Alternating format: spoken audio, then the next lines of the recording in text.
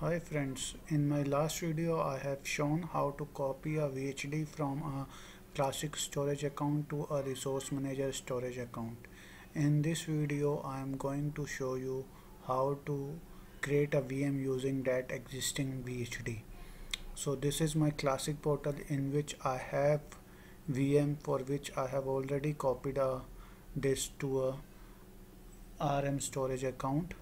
I have stopped the VM you can see the status here and if we switch to resource manager portal here also we can see that the classic VM is stopped and this is the only VM right now I have.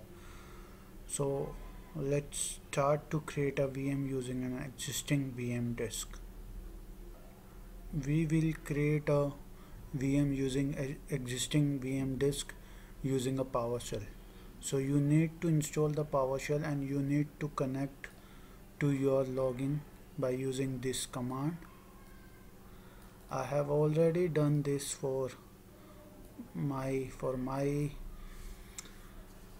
for my session so let's start so this is the script we, which we will run to create a VM using the existing disk so you required all this information.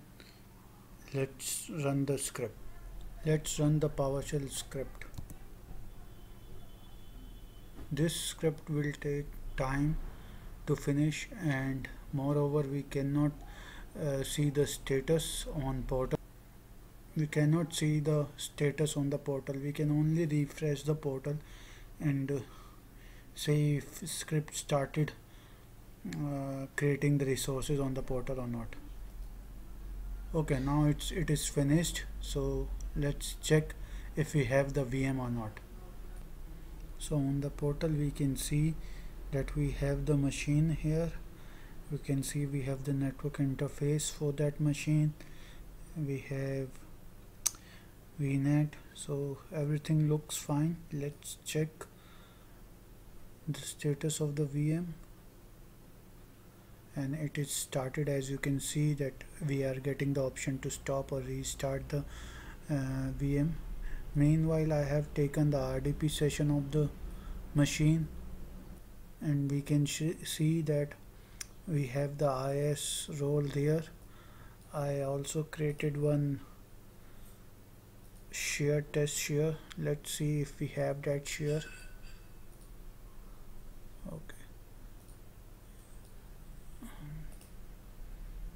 let's open computer management.